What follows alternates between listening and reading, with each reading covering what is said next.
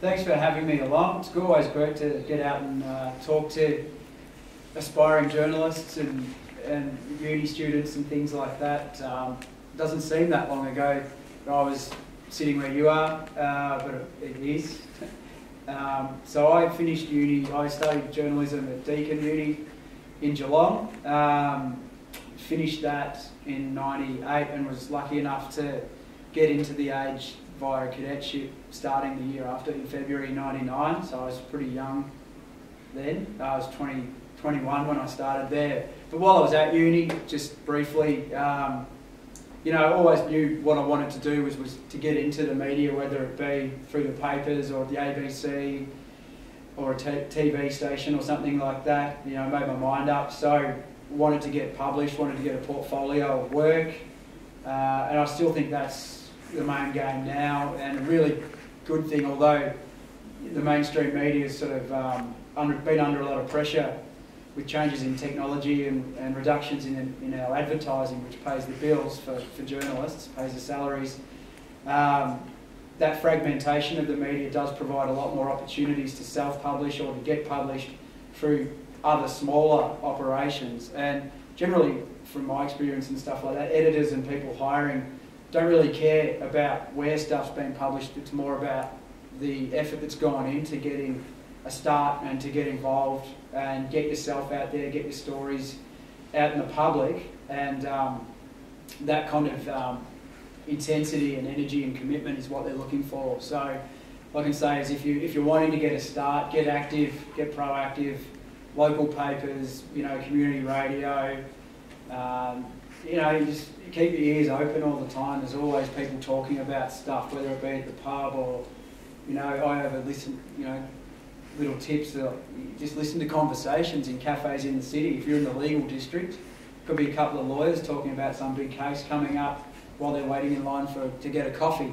Or if you're up in Spring Street, it could be some public servants or politicians, things like that. So you hear a bit, and, you know, just make a note of it and go back and do a little bit of work. So it's just always thinking about uh, what opportunities are there and, and, and where to take them. So yeah, so when I was at uni, I tried to get to get published as much as possible. And as I said, was fortunate enough to get in at the age and then um, did a cadetship, uh, which takes you right through all the areas of the paper, business, sport, Sunday Age, all of that. Uh, got put onto the rural round, so I suppose being from Geelong, I was the closest thing they had to someone from the real country uh, at the age at the time. That was a great start because, you know, the round got no real profile or no attention paid to it at that time at the age at all. So it was great for me to just hire a car, go out with a photographer for a couple of days, um, play golf, get a few stories, take some photos and come back and, and get them published. But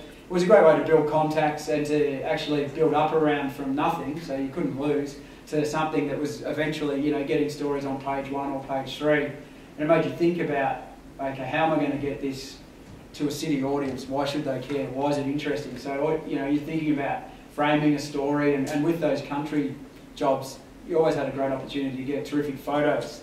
And so, if you could get a unique photograph that could hold up page one or page three, all of a sudden your stories have got more prominence, people talk about them, and you start building a name for yourself and, and you know, getting better stories as people recognise you, someone to come through. So I did that, moved up to state politics, um, never lost a dictaphone, which is a kind of problem for the age. Uh, I spent 18 months, two years there. Oh no, longer than that, four years there, um, doing state politics, and it's a really great way to cut your teeth as well. Uh, it's a very busy round.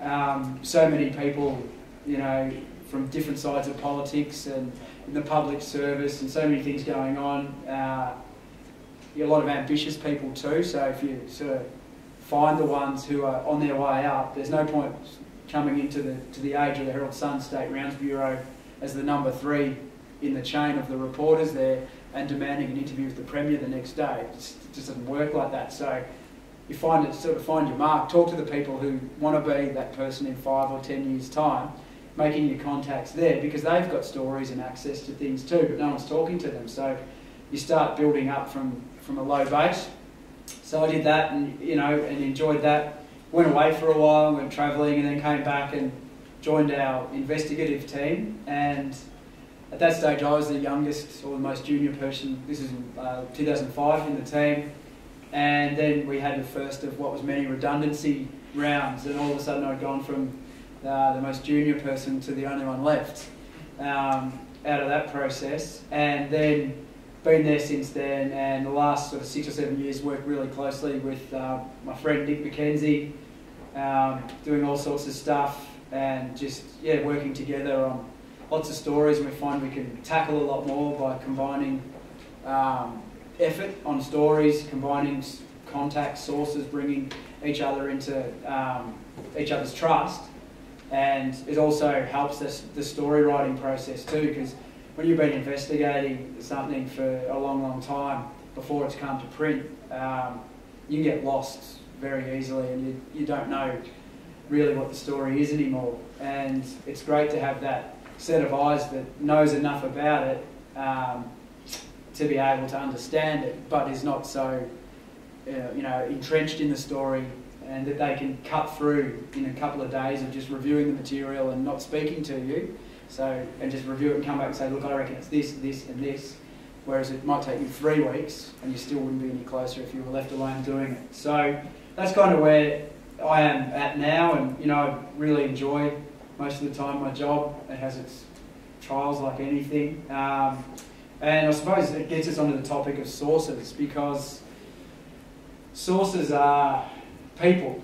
Okay, they're real people out there who have jobs, families, axes to grind sometimes, different motivations, but by and large, good stories, stories that change things, that um, you know bring down governments, that right wrongs, uh, that expose fraud or corruption, or just you know people being treated in a way they shouldn't be treated by by authorities or people that should know better.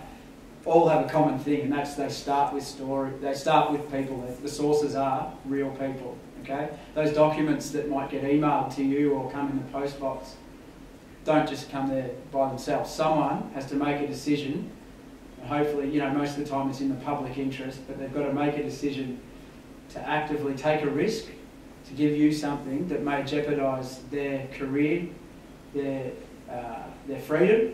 If they're working in different government bodies, it's a criminal offence to leak certain informa information, even if it is in the public interest, to a journalist without authority.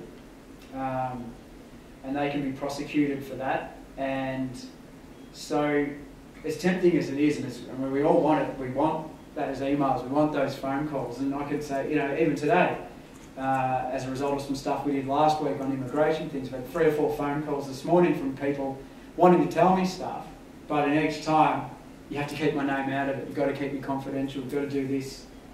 Okay, and so most journalists, because we all want to pursue the story, we do generally agree pretty quickly if someone requests a confidentiality, and, and most of the time it is there for a good reason that they're asking for it. We, we say yes because we're so focused on getting the story. What's the information? You know, it's always tantalising. After doing the job for 15 years, I still get excited by the unknown and the, the prospect of the next. It's like a it's like a drug. It's the next big. You know, you're chasing that next hit all the time. You know, you can be up and then down, and then you want to go up again. So you you follow up and get excited when someone contacts you with stuff. Um, so, but by agreeing, I suppose, by agreeing to take someone into your confidence, doesn't come easily for you. Most of the time, no one's ever going to call you out on it, okay? 99% of the time, no one's going to say, um, we want to know who your source is and we want to know under what circumstances you gave that confidentiality. Did you offer it first or did they ask for it? When did they ask for it? You've got two other people who wrote this story. Did you tell them about this, that person? Or aren't you breaching confidence there? All these things, this is what can happen if you get called into court to explain about the interaction with your sources and things like that. So, by all means, recognise that good journalism doesn't happen without good sources. And a lot of the time, you will be called upon to protect them, and a lot of the time, it's good reason. But I guess I could say from experience, it pays to, to sit back and, and yes, if you if you make that decision to commit, then you've got to stand by it. But in weighing up the information they provide, think about motivations for doing so. Is it, is it always you know, in the public interest or is it in their own interest? Is it trying to score, settle a score with someone? Does that person deserve it? All those kind of things. So you've got to really almost take the information and go away. And sometimes the information might only be verbal. So if you have someone ring up and say, so and so that you wrote about in the paper is a fraudster and has done X, Y, and Z investors out of this much money, but you won't find it because he hasn't, the court case has been settled, it was all confidential, something like that. Okay, you want to get it because it involves something you're already chasing, but how do you go about verifying? You can't just go and print the next day and say an anonymous source who I didn't even know name was on the end of the phone said this about this person. I mean, you'll be out of a job and paper will be bankrupt if we all did that every day. So when a source does come through with stuff, often it can take a long time to check out what they're saying. And I suppose that's a really big obligation on you as a reporter as well, is uh, not only if you take them into your confidence, but then you've got to establish whether or not, whether or not what they've told you is, uh, is accurate and true. So there are different ways about going about that. You know, they might have told you something and they might have said, I've got the documents to prove it, but I don't want to give them to you yet. So it's a, it can be a long-term relationship, the journalist-source relationship, before it actually sort of yields any fruit. I can give an example, a story we did a few years ago, which um, was on bribery and corruption at Reserve Bank companies. Um, the primary, initial source for that, I met this guy in a coffee shop in the city and couldn't believe the story. He had to say that these companies owned and directed by people from the Reserve Bank paying bribes overseas to sell banknotes to various governments. And that was just in the news again recently because of a big suppression order that WikiLeaks um, published uh, about, well, I can't, I can't, even say what it's about here. Um, but, uh, I've lost my thought. Yeah, this, this guy, so this, the primary source for this story yeah, 2008, met him in a coffee shop near the old age building. Told me this stuff. Didn't have any documents at the time to prove it. Sounded unbelievable, but went away and checked out a few of the names and a few of the things he said, and it had foundation. So we met over a period of time, and he's he came from a background. He was not a, a natural whistleblower at all. Uh, completely opposite. He worked in you know quite secretive government agencies and different things where the press was an enemy, and this was his last resort, and he genuinely was a public interest leaker, so much so he'd gone to the federal police with the information earlier, and they'd ignored it, and it was only when we put it on the front page, eight months, nine months after our first meeting, that's how long it took to actually establish what he was saying, but also to win his trust to get some documents that we could, you know, hang our hat on for the story. So that, you know, that's an example there it was eight months relationship with this person, and that was only the start. Then the relationship obviously continued because once the police looked into it, we had to convince them say, well, put your money where your mouth is, you know, go and be a witness. You wanted this to happen, you can't just back out of it now. All sorts of things, um, all sorts of ramifications for that, for him and for us.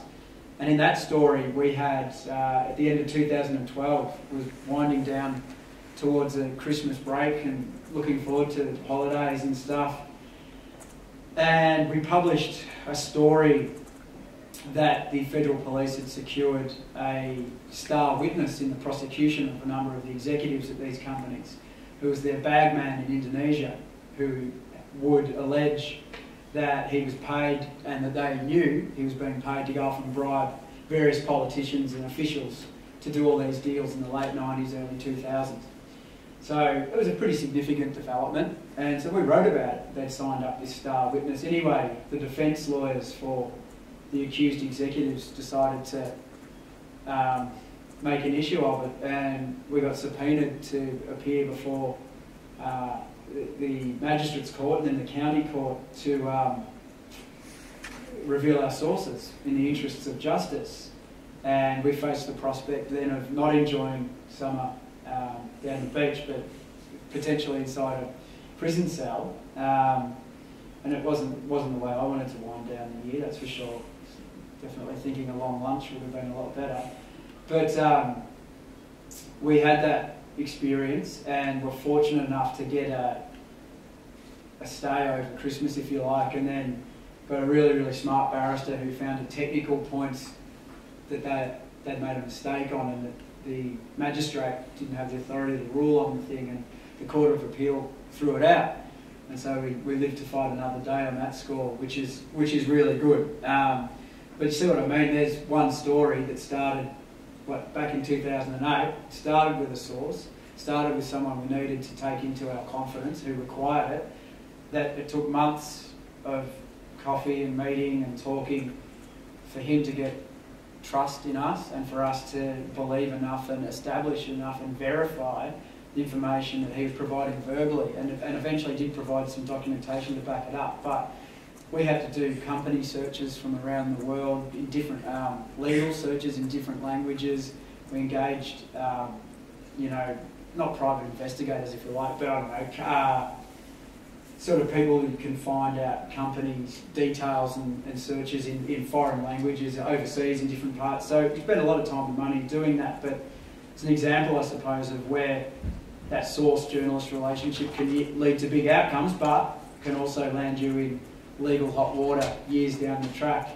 And then you're on, on the stand asked to talk about who your sources were. Now, he wasn't the source for that story that we wrote six years later, but there were other people in there who we'd taken into our confidence along the way.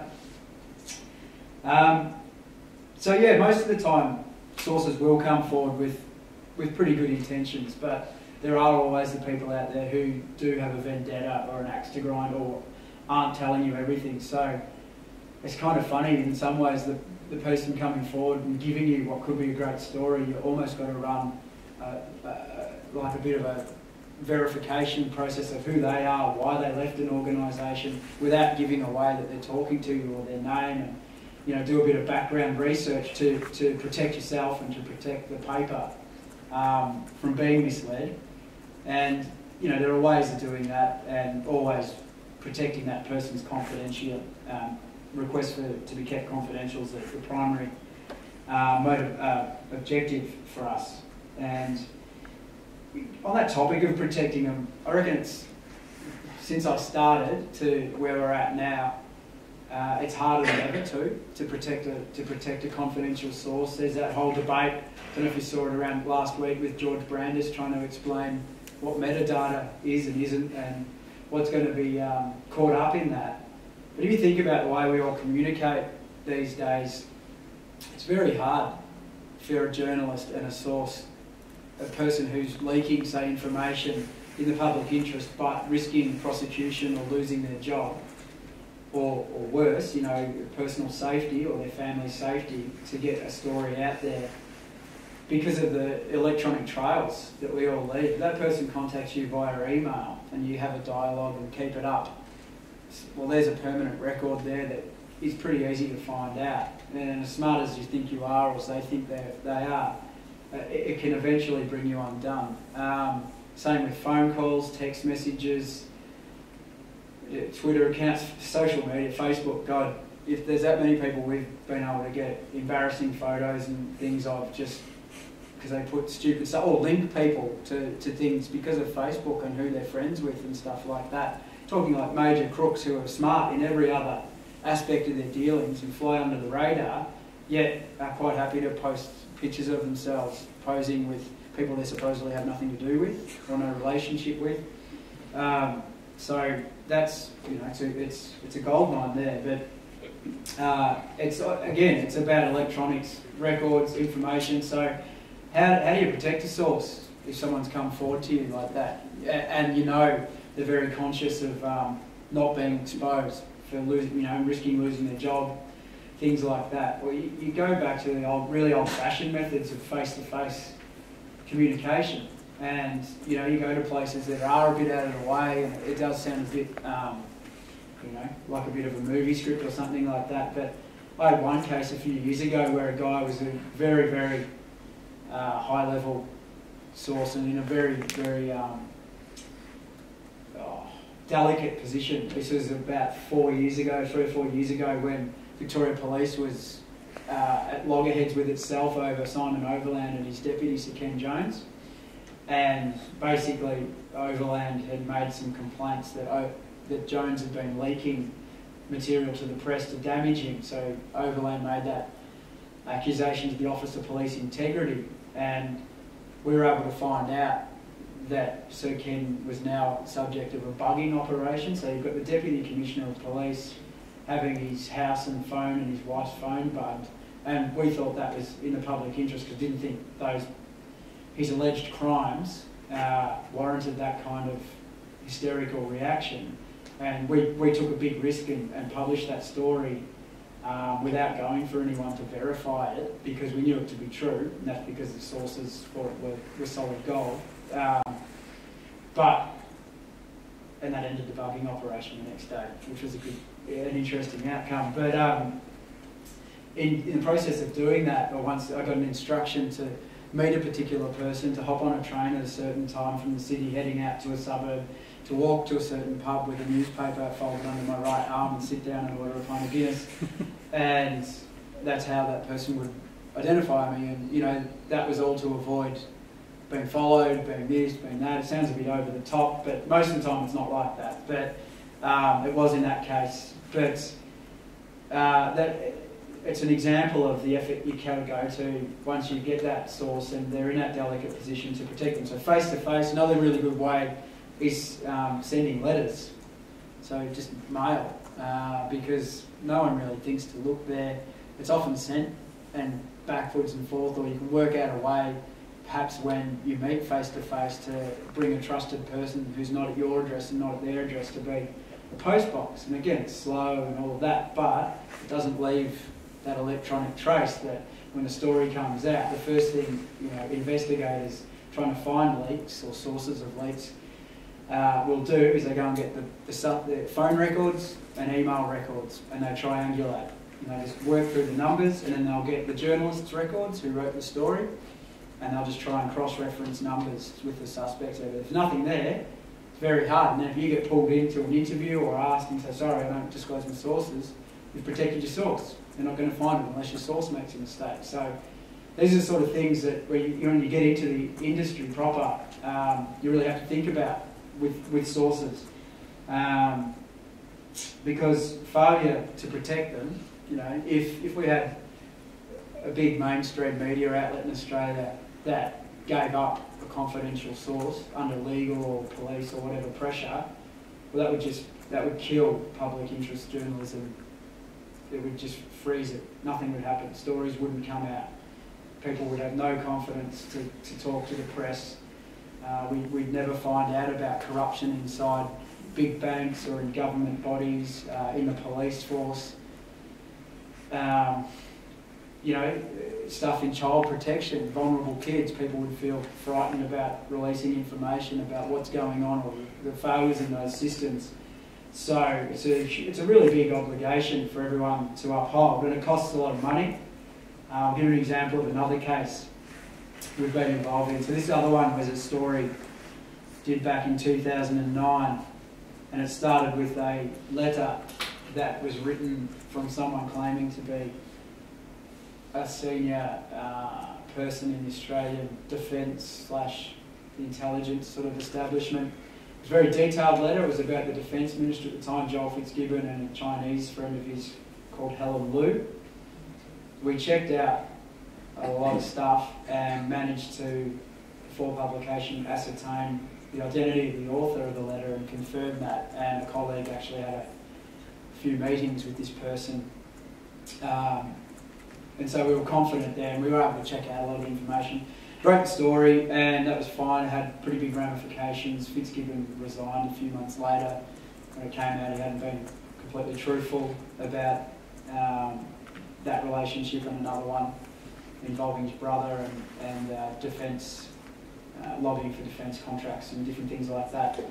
Anyway, as the time went on, um, or throughout that process, uh, I had um, a small group of people who seemed to know uh, the, the Chinese figures involved in this very intimately and had a lot of information about dealings back in China and in Australia and different payments and, and alleged um, corruption and stuff like that. And it's very frustrating. We were trying to, to get these people to, to come and meet and um, show their face. We were able to verify a lot of the information provided over about 10 or 12 months of email exchange, quite robust email exchange, and it led to a number of stories.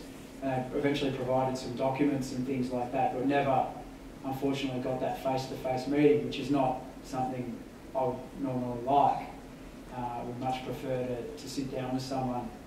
But we, we made a judgment that enough stuff had checked out and we were able to ascertain quite a bit from these, these documents and went ahead, went ahead with further stories um, and, and, you know, in the public interest to get to the heart of what we thought was some you know, foreign intervention in Australian politics and um, published.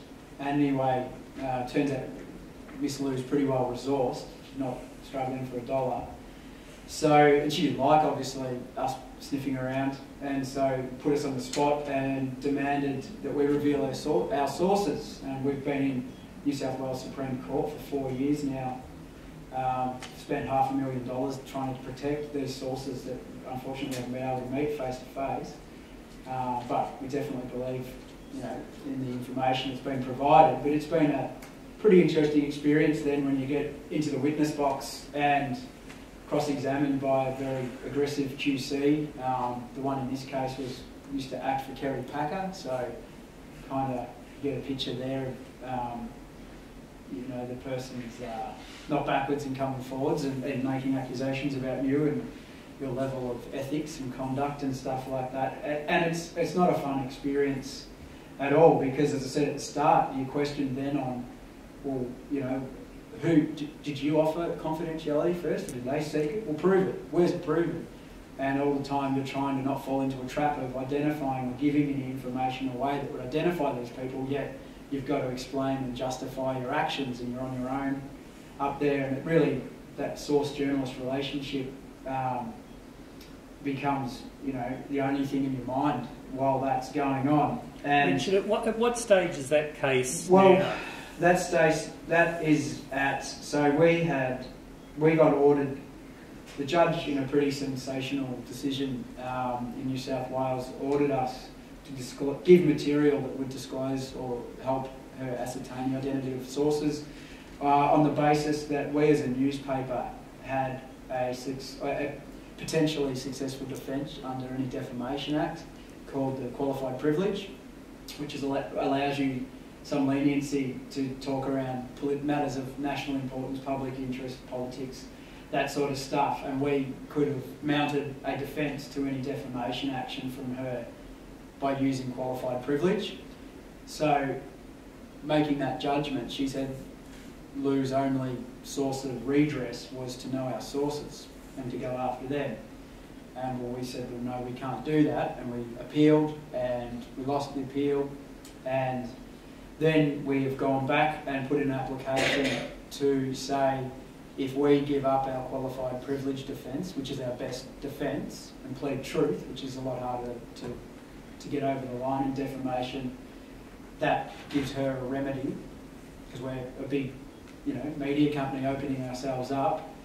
And it's happened before where the court's disclosed, um, uh, thrown out, sorry, source disclosure uh, rulings when a media company's done that, and we're waiting on a decision there. But also in the meantime, um, a bit of good investigative journalism's uh, given us a little more confidence as well in this case because as this has dragged on, uh, we were able to find out how she got her Australian citizenship, and it was through a sham marriage, and we found the people involved, and I got one of them on the record to make admissions about it was a sham marriage, and got the wedding photos and the documents, and all of that sort of stuff and gave them to the immigration department, although I don't know whether or not they've got anywhere uh, investigating. But needless to say, she hasn't set foot back in the country since that story was published. So we'll see what happens there. I just have to say, the, the stories you write probably put you at more risk than many journalists of having to be in court, asked to give up a source, facing jail. Is this as close as you've been? Yeah, yeah, it is. Um, so, again, it's it's a couple of you know high profile examples, I suppose. It's not, thankfully, it's not the um, the norm uh, for me. But yeah, in that kind of investigative area, you are generally more at risk of that sort of stuff because you're often taking on people or institutions um, that have a lot of resources, have a fair bit to hide. Sometimes you give them no choice, you know, but uh, you back them into a corner, so you kind of expect that. Um, and so you, you've got to wear, you know, people have got a right to take legal action, I think, if they think they've been defamed, and that's, that's part of the process. And, you know, I'm very confident in that our due diligence and stuff before a story's gone in will prove that we're right or that we've acted reasonably and all that sort of stuff. But I do think going after sources is a bit beyond the pale uh, because they know that that's a weak spot. Um, and I think that's counter to the, to the public interest, and I reckon most, most people in the public agree too with that when you get litigants going after sources. Before I let other people ask you a question, I'm hoping they've got some because I, I sort of had a few that came to mind. Journalists will often talk in a very high minded way about the public interest. Do you have a way that you define it for yourself?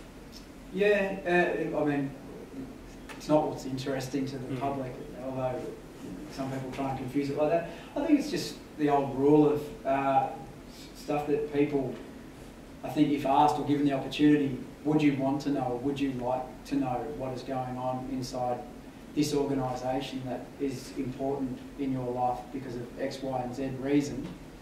Uh, I think that's what defines the public interest to me. But there's a benefit from knowing what's going on inside somewhere. Either you're not being told the truth, um, bad stuff's happening and being covered up.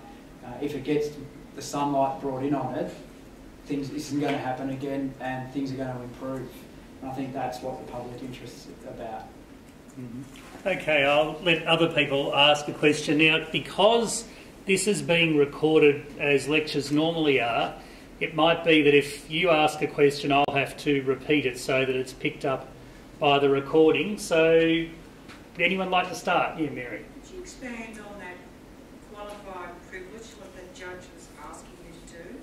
Okay, so we're asking. Was that judge asking you to, you're okay, you've got qualified privilege, you can tell me, is that what she was trying to do?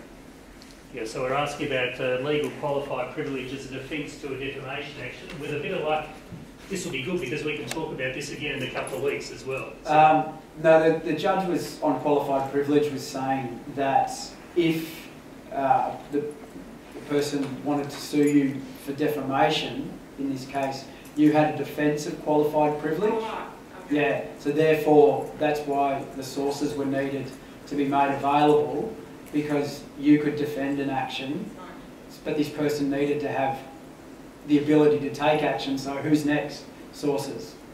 That's all. Yeah. Oh, just down the front here.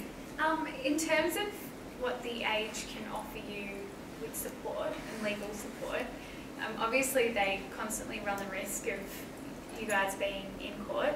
So how do they, is there some kind of legal process that you go through with the newspaper before Yeah. you then get backed by them financially? Yeah. So it's a question of what legal and financial backing the age can give to protect its investigative reporters. Yeah, we've put a few lawyers' children through private school um, in recent years. No, we've got, we get looked after by Minter Ellison, so the media law guys there, which is uh, Peter Bartlett, David Paulton, and, and their team. And they're, they're two of the best guys in the business, you know, across the country and, and internationally. So process there is, uh, for example, before I came here today, uh, just drafted a story for something perhaps later this week where we've had a few um, legal threats, but no no writs or anything like that, where people have you know tried to get us to back off a story because they know it costs money and that media companies aren't making a lot of money. So we're finding more and more. Uh, you know, people who are subject of a story just fire off a legal letter the next day to kind of put you on the back foot a bit. So yeah, I just email them a draft and they go through it and we talk about what have we got that backs this up and, and all of that. So pretty much every story it goes through that process and then major you know major hits or major series um, you'll sit down perhaps spend half a day with David Peter or uh, or both um, and go through what you've got what our risks are they look at the copy make some changes to take stuff out change this word here and then the decision's made by the editor really, um, whether or not to publish on the advice of the lawyers. Then they give them a risk, and, and it is it's part of the business. Yeah, they'll evaluate what the they think the risk is and what they think might happen. Yeah. There's one up the back. Yeah, Richard, appreciate your time. Obviously, it's a um, pretty important day in the Essendon saga. I find it interesting that you're here at the moment after writing extensively about it. I guess my question is, as an investigative journalist, do you find it hard to detach and move on to the next thing before some of these things have played out? Uh, oh, sorry, No, it's all right. So it's just a question about the Essendon saga, and Richard's had a bit of a role in um, in writing stories about it. Yeah. Hard to be detached.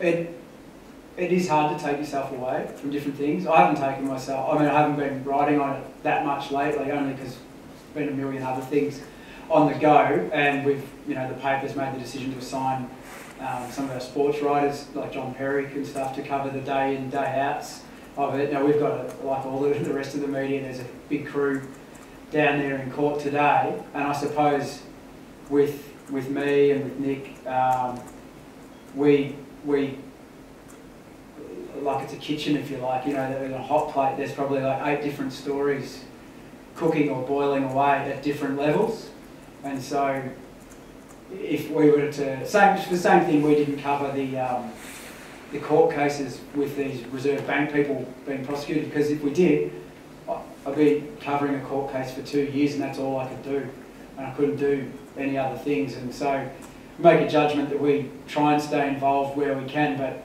there's so much other stuff to get involved in, um, and the, the football, the Asada thing, really happened by by chance. How we got involved in that was. Uh, by accident, not design, if you like. It was basically the day after self Essendon self-reported. I had a contact of mine who rang up and said, oh, "I know the bloke who was supplying them with with their peptides and all that sort of stuff. You might want to check him out." And it was Shane Charter, um, who was the guy he was referring to, and said, "Yeah, he's got a you know he's got a drug trafficking conviction and all that." And so naturally, day one after they've reported, and there's this big storm and all these questions there um, if we can write the story about who was supplying and, and Shane Charter's history and different stuff. And then it just snowballed, so it just, you know, went on from there. But we were just, uh, like everyone else on the first day, just interested bystanders. But that said, there are other stories potentially coming not too far down the track related to, to ASADA issues and, and things like that. Look forward to. Yeah, we'll see. We're going to see what, see what we can get through the lawyers. You're up there. Yeah. Uh, At what point do you have a look at, um, uh, in terms of public interest, do you look at, you might have some information about a politician, but it's a personal detail, you know, you might have had an affair or something. What, how do you look at those sorts of, um, those tip-offs that you get, and then you say, look, we're not going to gain much by publishing, we're just going to make an enemy? How do you go about doing personal things like that, and what is actually a story in the public interest? So I'll, yeah, I'll repeat that for the, for the sake of the record. Um, so the question was about if, for example, you got a, uh, some personal details about a politician, uh, something that would be highly embarrassing. How do you decide whether or not it's in the public interest? And we could probably look at that, that David Campbell, the New South Wales Minister, um, exposure as an example of one way of doing that. Yeah, it's a good question.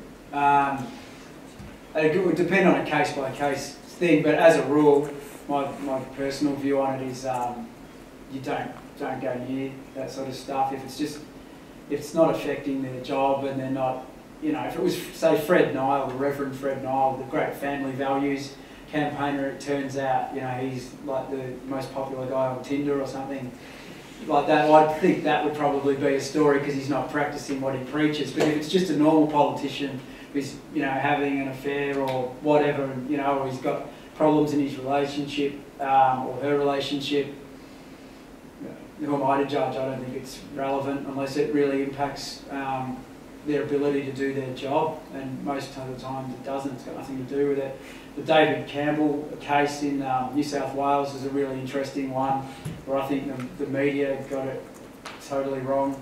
So he was a, a New South Wales government minister, um, and he's uh, he's a homosexual guy, and they followed him to some you know a, uh, game Ken. Ken's Ken's believe it was just a, you know, just a, a brothel for gay blokes, and uh, and justified the story on the basis that once or twice he used his MP, his fun, you know, his car that he's entitled to as a, as a parliamentarian to drive there.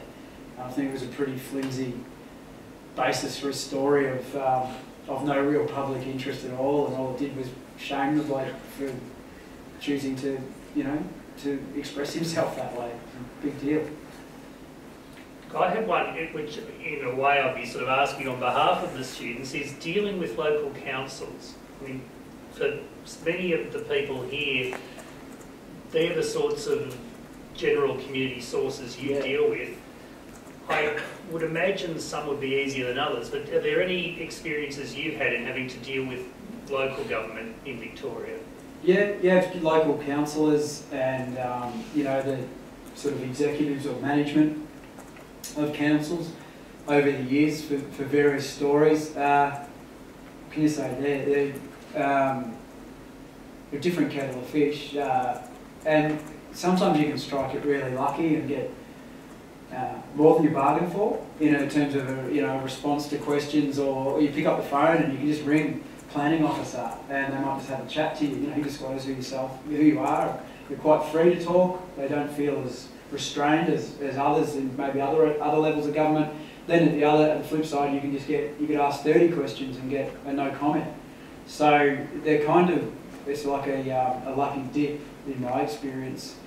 It depends on the council. It depends on the, the makeup of the council at that time and, and the issue. But certainly it's very fertile area, um, and particularly for aspiring journalists and you know local journalism. There's so much going on that's not covered. I mean, local newspapers these days often don't have the resources to send someone to the Wednesday night council meeting and uh, and they used to, you know, and that's where reporters used to get some great stories, but also build up some contacts, you know. So those councillors and people there, they're, they're on their way up often too. You know, that's the start, stepping stone to a career in either federal politics or state government or, or whatever. And same with, you know, some of the officers, they, they don't want to be working for the, um, you know, the Yarra Council for the rest of their lives and things like that. So if you get onto a story or think there's something worthwhile checking out, you take the time to go down and, and make the effort to, to sit in and hear stuff and then introduce yourself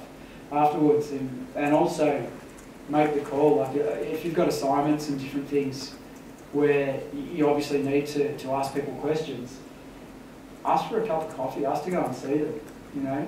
Um, don't just email four questions out of the blue because you'll get not much of an answer, but try and build a relationship. I reckon that's the, the key to, to good journalism is um, building and maintaining relationships across a wide variety of people because that's how you build up your source pool. And that's what happens when you get a tip. So for example, one of the reasons why we're able to check out and, and build upon good tips is because we've maintained and built this pool of sources over the years.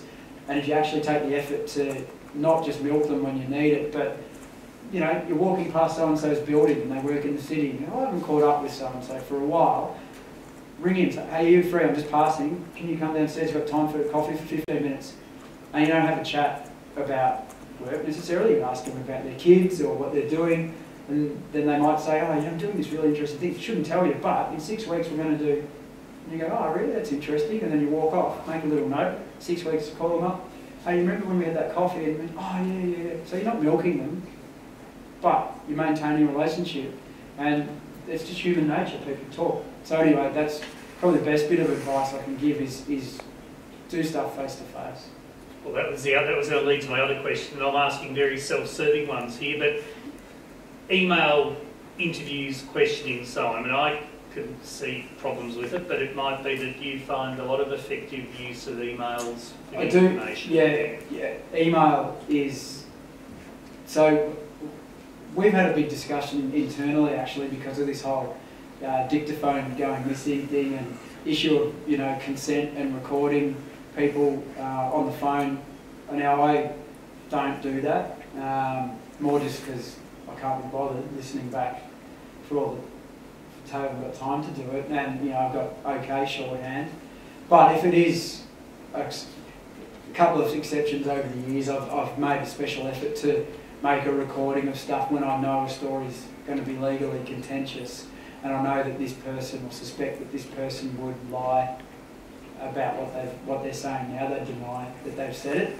So I, I've recorded a few conversations there where I've not used it for the story, never written what's in the in the conversation, never broadcasted it, but have kept it in my back pocket in the event of legal action. And there is a loophole um, in the Act that allows you to do that, so long as you don't broadcast it for those things. Or you get smarter as time goes on and technology allows you to use Bluetooth and get in your car, put it on speaker and then use another recorder and then you don't have to worry about whether it's a legal recording or not because you haven't plugged anything into the phone. So it's technicalities. But getting back to your question on email.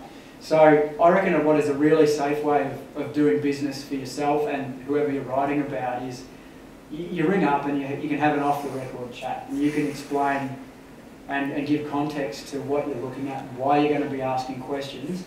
There's an opportunity for the, that person or that company or entity to engage in an off-the-record way that they can't say things publicly but can help provide a, you know, another side to the story, give you some context. So often, if they engage in that process, it softens things a bit too. You know, you don't have to directly attribute, but you get a sense of both sides of the story.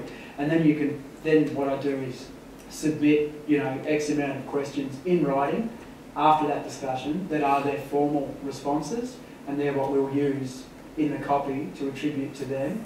And then both sides have a record because no issue of misquoting because they've written it, they've typed it, it's been read by whoever needs to authorise it, they've sent it to you, you've got a copy, and unless you make a mistake cutting and pasting or whatever they answer in, it should be, everyone knows where they stand. So that's how I do it. Make the phone call or go and have the chat, do that off the record, and then put in your formal questions. Yeah. Um, I don't know if this has been published or not, but um, did the age take any kind of uh, disciplinary action with Farrah Tomazin? Like what happened there? Like what happened? So we're asking about the Farrah Tomazin lost dictaphone. Was there No, I don't think so. disciplinary No, not that I'm aware of. No, I mean, I think she would have been told to take more care Right. to make sure her stuff doesn't go missing. Yeah. Um, but no, I'm not, you know, not aware of anything else. I mean, it was just unfortunate. Uh, the whole thing could have been avoided, I think, if people just hand back stuff when it's clearly marked who owns it, then it wouldn't have been an issue. I mean, what we've been, well, what I've been preaching in classes, I've been saying, when you're doing this sort of stuff, you should really assume people possibly will make mischief with things if it, if it goes awry. You can't sort of necessarily assume goodwill. No, you can't assume goodwill. Um, you know, I, yeah, wouldn't take out a bag full of documents. If I was going to the pub on the way home from work or something, just leave it in my locker at work or, or whatever because it can easily happen. You know, you can misplace stuff and and what we've been talking about at the start of this is about protecting your sources. Well, there, there goes that commitment. How, how do you think that will affect her career? Uh, it will, will probably, it will no doubt have some short-term impact, I'd say, up in that environment, you know, because it's a pretty small world, Spring Street, in state politics. Um, hopefully it won't have a longer-term impact, because, you know, I know Farrah and she's a really straight person and, and, um, and, a, and a good journalist. Um, so it's, it's an unfortunate thing that's happened, and it, and it may, may cause some short-term problems up there. I think it would be naive to suggest otherwise. Are there any other questions we had? There was one I was going to ask is I think we found a story, um, it was you, Nick McKenzie, might have been making a speech, it might have been a public interest type speech, in which you described having written stories about it as a Dr. Uh, Kossmann. Kossmann, Yeah. and you've been injured at least once, if not twice, playing Oh, footy yeah. or in the hospital. Would you like to just tell us a little bit about Yeah, that? this is, um, um, we had to do uh, in February, in, no, February, in May, a talk up in Sydney for the, uh, the Journalists Union of Media and Entertainment Arts Alliance. It was Press Freedom Day, World Press Freedom Day.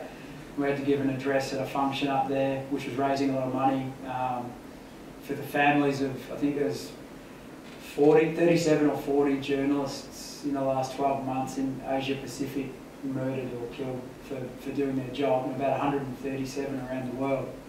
in that 12 months. So, you know, thankfully, it's a pretty safe place, Australia, to, to do that compared to a lot of other places. And in that address, yeah, touched upon these stories back in 2008. So he was a, uh, the head of the Alfred Hospital's trauma department, and got some allegations there about um, oh, excessive surgery, I suppose, on patients and um, some surgery perhaps outside the bounds of, of um, qualifications and then some billing to insurers to, to maximise income. And did the story, it was pretty controversial at the time. Um, and unfortunately, I had managed to injure myself pretty badly twice that year playing football and required to, um, the services of the Alfred. And uh, yeah, so I remember once I was going under anaesthetic to have a broken wrist um, repaired and they were asked, the anaesthetics and uh, anaesthetists and the doctors were asking, are you that guy writing those stories? So what do you think about the prof? And sort of drifting off to sleep and wondering whether or not I wake up with two left hands or something like that. Um, that was all right. And then, yeah, there was another time later, later in the year, unfortunately, uh, I had to go back in there for something else and similar questions. So it was certainly a very divisive one, but they're, they're, they were true professionals. Oh, that's good. I was about to say, it occurred to me that No, despite... well, there was, there was some, well, some who probably would have said go harder, and others would have said you're, you're being unfair. So. It occurred to me doctors can do more damage to you than uh, lawyers, but they probably wouldn't. So, yeah. yeah, probably right. yeah. All right, look, thank you, Richard, for coming along and talking to us. I hope you guys have been, uh, I guess, noting in the back of your minds, this is how I can get stories in my area. Obviously enough, the people in the Ages investigative team are going to be doing stories of national importance. For us, a lot of the time it's going to be at the local council, but the local council's a really fertile place. And you're right, it is a, it's a training ground, isn't it? It's, it's where people start off. Oh, it is, but yeah, and it's important to, you know, um, hundreds of thousands of people who live in the area. It's very important to, to lots of people. Uh, so, yeah, don't underestimate that. Just, just get stuck in wherever you, wherever you can. If you really want to do it, just just start start doing it. That's all. And don't be shy about getting people saying no. More often than not, most people will talk to you. Well, okay, and on, on that note, we'll say thank you very much, Richard, if we can uh, thank you for coming along.